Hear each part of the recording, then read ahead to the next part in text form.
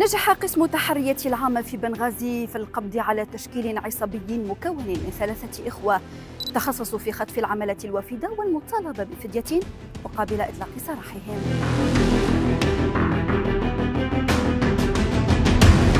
بدأت القصة عندما تلقى القسم شكاوى من عملة بنغالية تفيد بخطف شخصين من الجنسية نفسها حيث اتصل الخاطف طالبا فدية قدرها عشرة ألاف دينار ليبي وعلى الفور أصدر رئيس القسم تعليماته ببدء تحقيقات للقبض على الجنات حيث خرج فريق من المحققين برفقة أحد العمال لاستدراج أحد الخاطفين وتسليمه المبلغ المطلوب ليحاول مقاومة رجال التحرية بشدة لكنهم تمكنوا من السيطرة عليه في منطقة الصابرية وبالاستدلال معه تبين أنه ليبي الجنسية من مواليد 1994 واعترف بامتلاكه مزرعة في منطقة دخيفة حيث كان يحتجز العمال المخطوفين.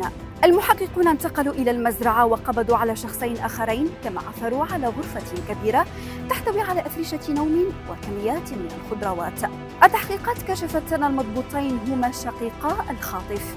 وقد اعترفا بأنهما أطلقا سراح المحتجزين بعد القبض على شقيقهما.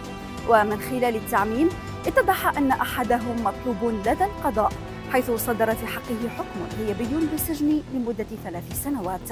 وعليه تم اتخاذ كافة الإجراءات القانونية اللازمة وأحيل الموقوفون إلى النيابة العامة.